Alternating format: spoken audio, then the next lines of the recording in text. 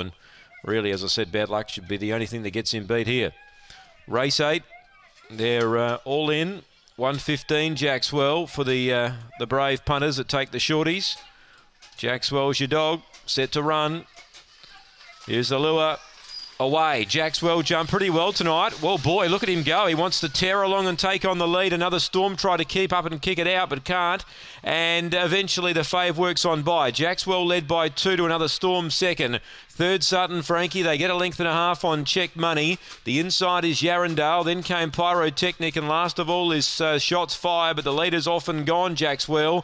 Another Storm's trying to hold down second. Yarrandale, the kennel mate to the favourites, running on well, though. But up the straight, Jackswell's too good for them. Second, Yarrandale. So it's a Cameron Butcher Quinella. Another Storm got third. Fourth was Pyrotechnic. Then Check Money, Shots Fired, and Sutton Frankie. Times around 30 and 65. It was an easy watch if you back the fave. Jackswell pushed on hard, eventually got to the lead down the back, and there was no way they were going to run him down from there. He's won by eight and a half, 30 and 65. It's a new PB for Jackswell. Eight and a half by half a length. Three the winner, 320 the early split, 1590. And run home 1475. And Cameron Butcher's got the Quinella. Yarrandale's got second.